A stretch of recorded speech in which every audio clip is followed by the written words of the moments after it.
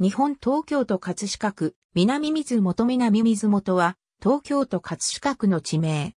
現行行政地名として、南水元1丁目から4丁目。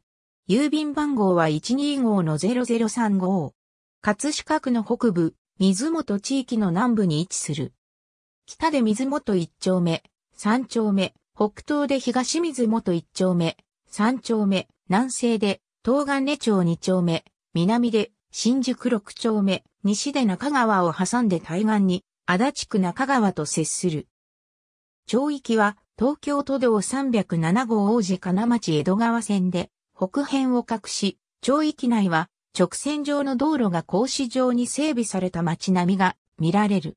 地区の西辺を南北に流れる中川には、飯塚橋がかかり、対岸の足立区中川、大谷電と連絡している。住宅地の地下は、2014年1月1日の工事地価によれば、南水元4から23から4の地点で24万1000円平方メートルとなっている。旧来の水元村に由来。2017年12月1日現在の世帯数と人口は以下の通りである。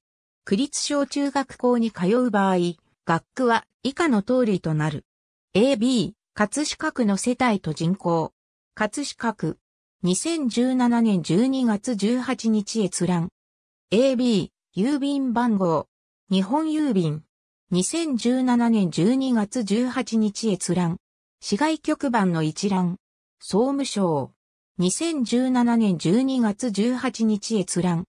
国土交通省地下工事、都道府県地下調査、葛飾区小学校通学区域一覧。